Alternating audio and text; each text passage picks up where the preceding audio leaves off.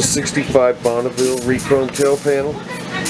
Get a little primer filler, prime in between those ribs and with a little bit of pitting is and then paint it black. It's going to look real nice. This is a 65 Bonneville chrome piece. Rechrome.